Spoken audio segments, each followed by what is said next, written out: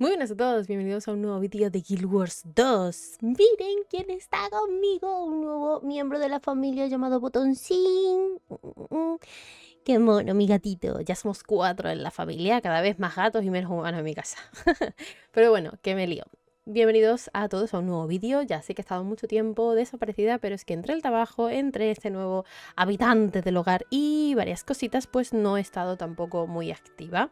Eh, tampoco ha habido gran cantidad de noticias por parte de Guild Wars 2. Sí es verdad que Secret of the Cure, la última expansión lanzada al mercado hasta el momento, ya ha concluido. No he podido hacer el último, la última parte del capítulo de la última expansión en directo porque, bueno, pues la he jugado off stream por los horarios del trabajo y demás, pero tengo ganas de hacer un vídeo comentando mi opinión, dando un poquito mi punto de vista de la experiencia y de lo que me ha parecido esta última expansión, ¿vale? Eh, más adelante, ¿vale? No os preocupéis y eh, los vídeos de Lore, pues por supuesto continuarán, ¿vale? Pero es que hoy, señores, día 4 del 6 del 24, tenemos nuevas noticias por parte de Guild Wars 2 y es que ya han anunciado la salida de la próxima expansión llamada Jan Tears Wild señoras, señoritas, nos vamos a llantir. Oh my goodness, os dejo el último podcast de Lore que hicimos con Hanumanse en el canal de Bortus, si queréis verlo, ¿vale? Eh, donde comentamos las teorías y nuestras opiniones y las ganas que teníamos de viajar a este sitio para la próxima expansión. Y parece ser que ArenaNet ha escuchado nuestras súplicas. Gracias, ArenaNet. Ahora que tras lo acontecido en Secret of the Cure, parece ser que los mursas se han puesto de moda, con lo cual estoy súper orgullosa y súper contenta. Así que nada, vamos a reaccionar al vídeo y vamos a ver los posts y la nueva página web, porque además a partir de hoy, día 4 del 6, ya está disponible la precompra de la nueva expansión que saldrá el 20 de agosto, si no recuerdo mal. Pero bueno, no me enrollo más. Vamos... ¿Qué así? Está jugando con mi pelo. Vamos a reaccionar al vídeo. Vamos para allá. Y bien, para no perder la costumbre, como ya sabéis, primero vemos el vídeo del tirón y luego vamos analizando paso a paso. Tenemos un minuto 41 de Jantir Wells, anuncio de la expansión. Así que vamos para allá, vamos a verlo, vamos a verlo, vamos a verlo, vamos a verlo, vamos a verlo. A ver qué tal el sonido. Peggy 12. Oh, too much, too much, too much. Y luego me decís que tengo el sonido del vídeo súper alto y que os quedo sorditos. A ver, a ver, a ver, a ver, ¿se captura? Sí. Yes, yes. Ok, we will see it, we will see it. Oh, oh, oh. A ver, pantalla completa. Espero que mi cámara no... No sé si poner la cámara arribota, aquí, aquí. La vamos a poner aquí para que los subtítulos no queden... Oye, botón, compórtese, suelte mi ratón. Para que los subtítulos no se tapen. Vamos allá. Ven, botón, vamos a verlo.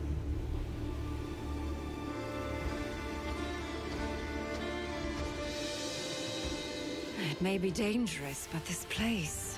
Oh, It's stunning. Think there are any white mantle left in the area? I've heard enough rumors. Janthir. A storm looms over that Please. place. That is not a territory I wish to cross. My Oh. have lived in Janthir longer than your cities have stood tall.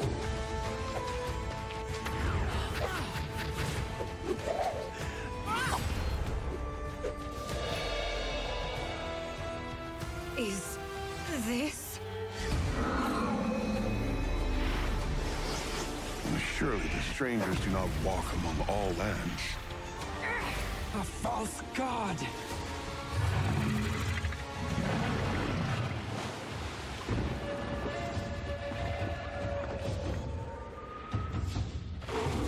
Eh, Excuse me. This place is no longer home to me. But perhaps it can be for you.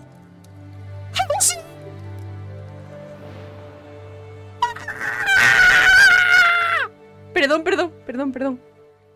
Perdón, perdón, perdón. ¡Ay, tenemos 20 de agosto de 2024. ¡Madre mía! madre mía, madre mía. Bueno, pues ya sabéis, como siempre, cada vez que sale la edición deluxe de la expansión, nos dan regalitos. En este caso, casilla de inventario compartida, nunca viene mal. El potenciador a nivel máximo, ¿vale? Ampliación de casilla de personajes, kit de reparación de identidad, mesa versátil de caminos, herramienta de recolección de Eldritch. Más luego la definitiva, que te viene con 4.000 gemitas. Y conjunto de armas de ira serpentina, hombreras de susurro serpentinos, título colono. Uh, mm, ¿Cuánta serpiente, no? ¿Cuánta serpiente? ¿Por qué tanta serpiente, amigos? ¿Qué por qué tanta serpiente? Oh, my goodness. Bueno, hay mucho, hay mucho que analizar. Vamos a comprobarlo. Vamos a comprobar todas las cositas que tenemos que analizar, ¿vale? Madre mía, madre mía. A ver, Peggy 12. a ver vamos allá. La música is too much. Too much, too much. Me recuerda un poco como así en plan a, The Witcher, ¿sabéis? Esa típica música medieval, rollo, ¿sabéis? ¿No? Con las gaitas así medio nórdica, medio tal. Es curioso porque ya sa- oh, pero por favor, vamos a ver. Botón, estése quieto. Bueno, para abajo, para el suelo. A ver, un segundo. Vale, eh, ya sabemos que el comandante, en este caso ya no somos comandante, ya somos Aya Caminos, después de la expansión de Secrets of the Cure, siempre ha tenido una apariencia representativa dependiendo de la temática de la expansión en la que hemos- nos hemos encontrado. Por ejemplo, en Secrets of the Cure, al fin y al cabo era la torta del brujo, ¿no? Eh, entonces tenía una apariencia como más de erudito, más de brujo y tal. En Path of Fire era pues así una temática con tez oscura, más así similando un poco el tema eh, como si fuera rollo egipcio, o- ¿sabéis, no? Vale, pero bueno. Aquí somos nórdicos. Hmm, aparentemente esqueletos de, supongo, animales acuáticos. Esto podría ser una zona que antaño estaba inundada de agua. Se parece a los leviatanes, que por ejemplo el leviatán que conocemos de, de Kansas. Pero muy peligroso que sea este lugar es impresionante. Sí, o sea, se ve que es un terreno aparentemente que no ha sido todavía domado por la raza humana, bueno, por, por- por la civilización, ¿vale? Eh, unas cataratas, ¿podría ser el delta? El delta de la bahía de Yantir. place. Oh, it's stunning. Think there are ¡Dios! ¡Dios! El manto blanco, el manto blanco. A ver, según teorizamos en los directos de Lore y según hemos estado mirando y demás, eh, disculpa, que estoy del gato. Eh, según hemos estado teorizando, técnicamente eh, Saúl, ¿vale? Eh, todos los textos, Saúl cuando dejó esa vida atrás, ¿no? Esa vida de ser un borracho, un ladrón, un buscavidas y tal. él salió de, de Crita y andó, andó, andó, andó, andó. Y encontró, llegó hasta un sitio donde encontró unas altas torres doradas y tal, que en un principio pensábamos que podría ser Arnitas, pero no, o sea, quiero decir, desde lo que es Crita hasta el norte, hasta donde estamos en la bahía de Yantir, sí podría ser las estructuras de, los Mursat, ¿no? O sea, al fin y al cabo Arnitas tiene cierta tendencia, cierto origen Mursat, ¿vale? Igual que vemos en Nayos, ¿no? Que fue el territorio eh, originario donde proceden los Mursat.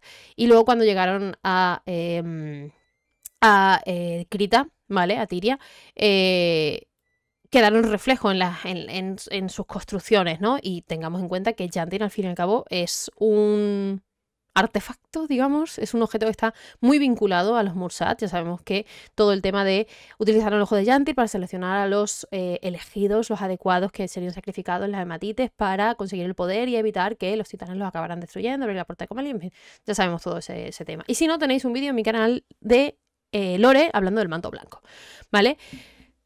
Quiero decir, obviamente iba a tener construcciones del manto blanco, pero se parecen más a las construcciones que vemos, por ejemplo, en Ala 3, ¿vale? Incluso en Ala 2, más que eh, las construcciones que conocemos hasta el momento de los Mursat. Es más bien como si esto fueran construcciones humanas, ¿sabéis? Los Mursat sí tienen torres blancas eh, y doradas, pero esto es- son más construcciones propiamente de los humanos, o sea que podremos decir que el manto blanco eh, llegó hasta aquí y al final pues fue erradicado. Me han llegado rumores. rumors. A esto seguramente sería donde llegó Saúl de Alessio. Shanthir. Janthir. Vemos al fondo que hay una torre muy parecida a la de Amnitas, ¿vale? Anis. Ahí, esta de aquí. Vemos también que Anise, al fin y al cabo, al final de Secrets of the Cure, le manda una carta a Livia diciéndole que tiene buenas noticias, pero que también estaría bien que viniera porque hay cosas, asuntos que atender. Una tormenta se cierne sobre aquel lugar. Time looms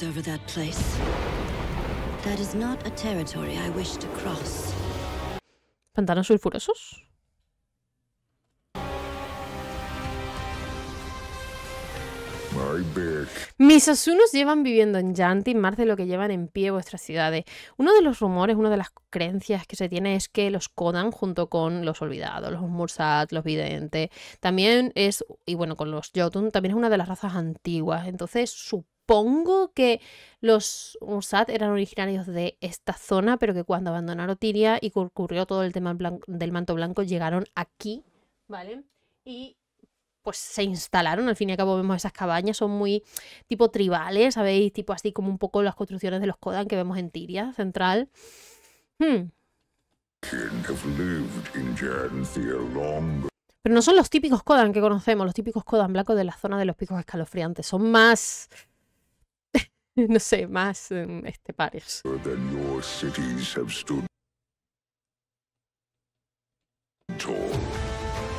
La lanza, por supuesto, sabemos que, bueno, lo sabíamos por lo que comentaron, que efectivamente las, eh, una de las armas acuáticas o las armas acuáticas se permitirían en esta expansión para utilizar en tierra.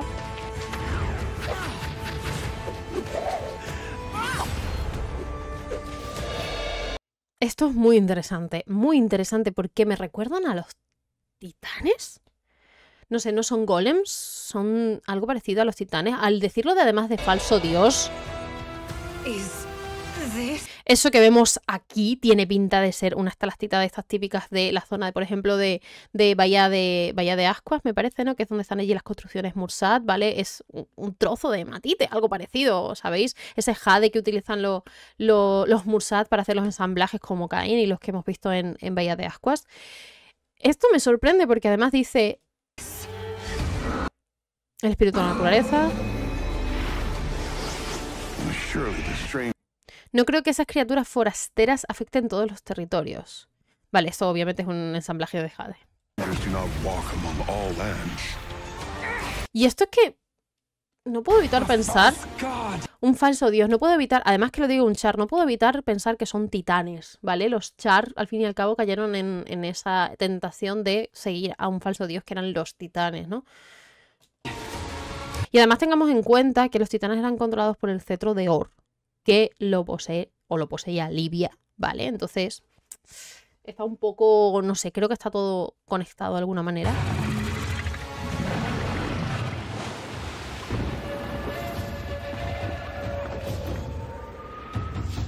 Me gusta mucho el logo, o sea, me gusta la temática. Es mm, temática en plan norteña, nórdica, pero no es el tipo nórdico que hemos visto en la Spruce Saga, que era todo helado, sino que es más bien naturaleza, pero con ese matiz, ¿sabéis? ¿No? Ese matiz. No sé, no sé. Me gusta, la. This place is no longer home to me. But perhaps it can. Dios bendito, Arenanet, gracias por darnos el housing. Esta es definitivamente lo que yo necesitaba para volver al puto juego, o sea. Toma mi dinero, toma mi dinero, Arenanet. Además me parece preciosa.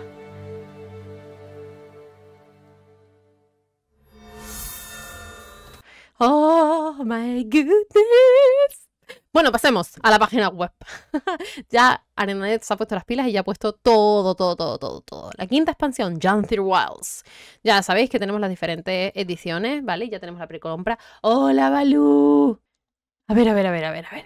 Bueno, pues eso, las distintas tipos de ediciones que tenemos disponibles para comprar. La verdad es que Arenanet sigue haciendo todo un acierto, ¿vale? O sea, sigue siendo todo un acierto el hecho de que ponga tan, a, este precio las expansiones, porque la verdad 25 euros una edición estándar que te viene también con cositas, me parece que es bastante accesible para todo el mundo, ¿vale? Luego ya si quieres ir al next level, pues obviamente, ¿sabes? E incluso para ser una edición definitiva, 75 euros no es tampoco muy caro, ¿vale?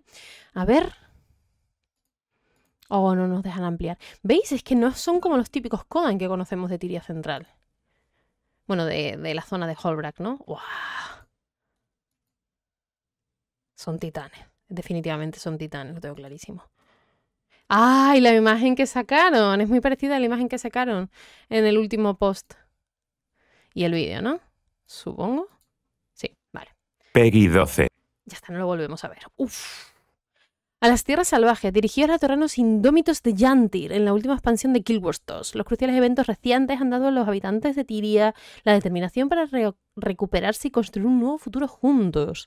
Conscientes de que la cooperación entre vecinos será crucial para el éxito a largo plazo, vuestros aliados os han mandado a entablar amistades con los Kodan de las tierras bajas de Yantir. O sea, es al norte, hacia la zona de Yantir, pero no muy, muy, muy al norte. O sea, no pegando al delta, sino más hacia la zona de abajo. Vale. Em, una tierra peligrosa que fue el hogar de los extraños Mursat y de sus aduladoras y de sus aduladoras del manto blanco en los tiempos de Guild Wars 2 original. Hoy, desde luego, la tarde está haciendo de gato, gato, gato, everywhere. En fin. Qué bonito. Se nota que es zona. Bueno, iba a decir zona, zona de, en plan, esteparia, pero muy montañosa, con las construcciones por aquí al fondo de, de- de los, del manto blanco. Las cabañas típicas en plan de, de los Kodan, así, ¿no? Como, es que son cabañas, es que son una pasada. Vale, los esqueletos que vemos en plan de animales marinos. Antaño que seguramente esta zona estaría inundada por agua y ahora ya no. Al fin y al cabo parece una zona costera, ¿no? Esas típicas construcciones así pueden que fuera zona costera. La historia que desvelará la isla de Yantir tendrá lugar a lo largo de cuatro grandes actualizaciones que comenzarán con el lanzamiento inicial de Guild Wars 2 Yantir Wilds el 20 de agosto de 2024. Introducirá más contenido en las actualizaciones trimestrales hasta la primera mitad de 2025. Recordemos que con Secrets of the Cure fue la primera, digamos, la toma de contacto por parte de Renet de esta nueva metodología de sacar las expansiones, ¿vale? Sacar una primera parte, tres meses después la siguiente, tres meses después la siguiente y así, ¿vale? De forma trimestral se recibieron actualizaciones periódicas, ¿vale? Es verdad que a lo mejor tiene una sensación por parte, yo he tenido la sensación con Secrets of the que ha sido una expansión corta, ¿vale? Porque ha sido corta, pero en cuanto a contenido a lo mejor de primeras, ¿vale? Como ha ocurrido con, por ejemplo, Enso Dragons, fue una expansión hecha, es verdad que inició y terminó, ¿vale? Pero traía más contenido. Secrets of the Cure trae muchísimas cosas, muchísimas cosas, y es verdad que ha mantenido vivo el juego porque al fin y al cabo, por ejemplo, con las nuevas armaduras legendarias de PvE, ha hecho que se mantenga en el tiempo la tasa de jugadores para conseguir esto, ¿no? Y poquito a poquito, con cada actualización, han ido metiendo pues un tier nuevo y demás. Entonces, bueno, esto sí que es verdad que creo que a día de hoy es un acierto por parte de ArenaNet y no está mal, pero sí que es verdad que nos cuesta un poco cada tres meses volver a enganchar la historia, entonces se puede perder el hilo, pero realmente si te pones desde el principio a hacerla de seguido es relativamente rápida, ¿vale? Así que, bueno, es bastante guay en ese aspecto. Ajá. También recibiremos cada trimestre actualizaciones de funciones, contenido nuevo desafiante para grupos, mejora del sistema de combate y mucho más. ¡Qué bonita! Me encanta. O sea, ya no solo la cabaña porque me flipa, sino la ambientación. O sea, ¡guau! ¡Guau! ¡Ah, qué pasada, loco! Me encanta. Heredad. Dulce heredad. Viajando conseguiréis vuestra propia heredad. Mm, Una instancia personal para toda vuestra cuenta con una estructura y un terreno que podréis decorar y cultivar. ¡Oh! Housing y farming. Las heredades os ofrecerán una zona y una estructura permanente que podréis cultivar, decorar y compartir con vuestros amigos. En ellas tendréis acceso también a los nodos y los objetos desbloqueables que tengáis en el hogar de vuestra historia personal. Os ofreceremos muchísima más información sobre heredades y os mostraremos cómo decorarlas antes del lanzamiento del 20 de agosto. Además vienen mis vacaciones, viene el verano y eso significa que irán sacando cositas, irán sacando conferencias y demás y podremos hacer el seguimiento como hicimos con Ants Dragons. Es verdad que no tenemos especializaciones nuevas, no tenemos como con Secrets of the Cure el permitir usar todo tipo de armas en diferentes clases, pero el housing ya es más que suficiente. Vale, esas son imágenes de parte del tráiler. Lanzas, un arma nueva para tomar todas las profesiones. Un arma, un arma nueva para todas las profesiones. Descubrir los secretos de la lanza con los Kodan de las tierras bajas. Las lanzas antes estaban disponibles únicamente en los combates acuáticos, pero ahora todas las profesiones podrán emplearlas también en tierra. Cada una con habilidades totalmente nuevas. No está mal. Un nuevo set de armas para todas las clases. Muy bien. Algunas profesiones las manejan como formidables armas de combate cuerpo a cuerpo, mientras que otras las arrojan a distancia con una precisión devastadora. Las lanzas se pueden equipar en las casillas tanto para el combate en tierra como para el combate bajo el agua, pero necesitaréis más de una si queréis equiparlas ambas a la vez. Mm. Las lanzas, las armas subacuáticas se van a disparar. En una de las actualizaciones posteriores al lanzamiento introduciremos también una nueva lanza legendaria. Ok, igual es el momento. Cualquier diseño lanza que tengáis desbloqueado en vuestro guardarropa valdrá para las lanzas en tierra. Nice. ¿Incursiones? Se añadirán más encuentros desafiantes junto con los nuevos capítulos de historia en las tres grandes actualizaciones que saldrán tras el lanzamiento de Guild Wars 2 Yanter Wilds. En la primera de estas actualizaciones, que saldrá alrededor de noviembre de 2024, recibiréis una nueva incursión. ¡A la 8!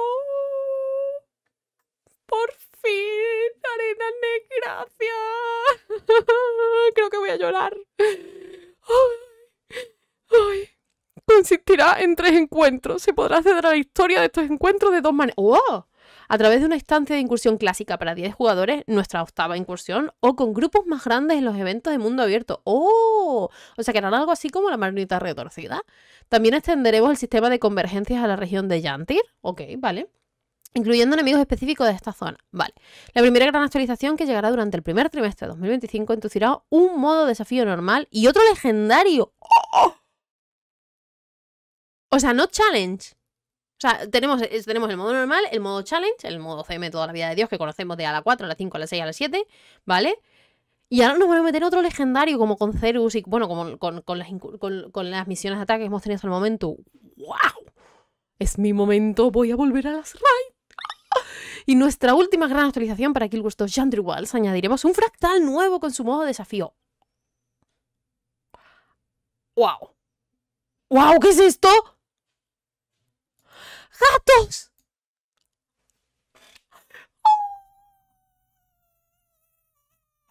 ¡Ah! ¿Qué es esto? Garra bélicas salvajes. Y el Wars 2 Yandri igual presenta una nueva montura de garra bélica que contará con nuevas mecánicas. La garra bélica estaba antes disponible solo en es la montura propia de Mundo contra Mundo. Aparecerá en la historia ¡uh! y contará con nuevas habilidades para PvE. Sí, joder, que tengo skins muy bonitas para, el para la garra bélica y no puedo disfrutarlas porque no toco mundo contra mundo ni con un palo. Al mismo tiempo revisaremos las habilidades de mundo contra mundo. Nada, lo siento, el mundo contra mundo no me interesa. ¿Y yo? ¿Qué haces aquí, Harren? ¿La reina llena? Brahan, no. Brahan, no. Cualquiera menos Brahan. La reina llena, Anís, el Nord Secret of the Obscure, esta señora no la veo. ¿Y Harren? ¿Y Harren aquí en la bahía de Yantir? ¿Really? Recompensas. Con el lanzamiento de Guild Wars 2 Yantir Wild, sus actualizaciones trimestrales renovaremos la cámara del brujo con nuevos objetos y recompensas. Obtendremos dos nuevas armaduras y conjuntos de armas, cosméticos, pa pa pa pa. Vale. ¡Oh! oh, oh, oh! ¿Qué es esto? Arenanet, ¿qué es esto, Arenanet? ¡Ah! Y además hoy han salido notas de actualización. Vale, la compra anticipada de Yantir. Bueno, es verdad que también han metido el dragonicidio. No me acordaba de esto. Tremendo, no me interesa. O sea, os dejaré toda esta información en la caja de descripción del vídeo, pero realmente esto, o sea, lo que es esto de dragonicidio me interesa más bien poco, ¿vale? Lo siento. Bueno, cambios, eh, se han corregido problemas, problemas, logros, ajustado en e- eventos, no sé qué, no sé cuánto, fractales, ya está disponible el modo desafío de la mazmorra fractal de Torre Solitaria, ¿vale? Hoy lo han metido. Se añade un cofre que se puede encontrar en el mundo. Historia personal, vale, nada. Mm, mm, mm. La beta de reestructuración de mundo se activará con un nuevo sistema de creación de equipos de mundo contra mundo a tiempo completo a partir de los reinicios de el viernes 14 de junio, este viernes no, el siguiente. Aseguraos de escoger vuestro clan antes del viernes 14 a las 9 menos cuarto hora peninsular y, o sea, bueno, el jueves, mm, en fin, la diferencia de la hora del Pacífico para formar parte del equipo. Podréis hacer esto con la opción establecer como clan mundo contra mundo. ¡Ay, mamita! ¡Ay, mamita! ¡Ay, mamita! ¡Ay, mamita! Mm, Arenanet, qué bien lo has hecho. madre mía, madre mía, amigos, madre mía. Bueno. Bueno. Bueno, se me acumula el trabajo. Se me acumula el trabajo. Tengo muchas cosas que hacer de lore, tengo muchas cosas que hacer. Y por supuesto, intentaremos, si el trabajo me lo permite, aunque tardemos, pero lo haremos, ¿vale? Estaremos al día en cuanto eh, conferencias de mm, cositas que vayan sacando para Giant Wilds. Eh, toda la información que veamos nueva la traeremos, ¿vale? O sea, por eso no os preocupéis. Eh, mm, bueno, o sea, por favor, dejadme en la caja de descripción, o sea, en la caja de comentarios, ¿qué, os, qué- qué os parece? ¿Qué os parece todo esto que ha salido con Giant Wild? Dios mío. El housing, amigos, el housing. ¡Oh! Madre mía, madre mía. Joder, me van a. O sea, quiero decir, si ya tenía poco, ahora van a hacer que vuelva a la enfermedad más absoluta con Janter Wells. O sea, yo es que estas cosas no lo entiendo. Pero bueno, también más adelante eh, sortearemos un par de expansiones, ¿vale? Ya veréis cómo, lo, cómo armo las fechas, pero tengamos en cuenta que, o sea, estamos en junio, faltan dos meses, faltan un poquito más de dos meses para que salga Janter Wells. Al menos la primera parte de la expansión, ¿vale? Y tengo muchas ganas por ver cómo o por qué vamos a venir aquí, qué, qué va a hacer que, que vayamos a, esta zona, ¿vale? Uf, bueno, a ver, ya hemos visto el ojo de Yanter, ¿no? Al final de Secrets of the Cure, spoiler, pero tengo ganas de ver cómo lo hilan todo, tengo muchísimas ganas. De todas maneras, insisto, tenéis el podcast de Lore que tuvimos en el canal del señor Bortus con Hanu y todas nuestras historias y todas nuestras cositas. Pero bueno, yo ya lo voy a ir dejando por aquí, no quiero que sea un vídeo excesivamente largo, pero... Dios, necesito saber qué opináis al respecto, por favor. Necesito saber qué opináis al respecto. O sea, lo necesito urgentemente. Pero bueno, lo dicho, muchas gracias a todos los que estáis siempre por aquí. Gracias a todos los que me dejáis vuestros comentarios en los vídeos de Lore. Me decís que por favor que continúe con la serie y demás. Don't worry, estoy trabajando en ello, os lo prometo. Llegarán, llegarán, lo juro, lo juro de verdad, llegarán. ¿Cuándo? Ah, no sé, pero llegarán, lo prometo. Y nada, eh, nos vemos en los próximos vídeos que van a ir saliendo conforme tengamos más noticias de Jantir Wells. Mil gracias a todos, cuidaos muchísimo y nos vemos. Chao, chao.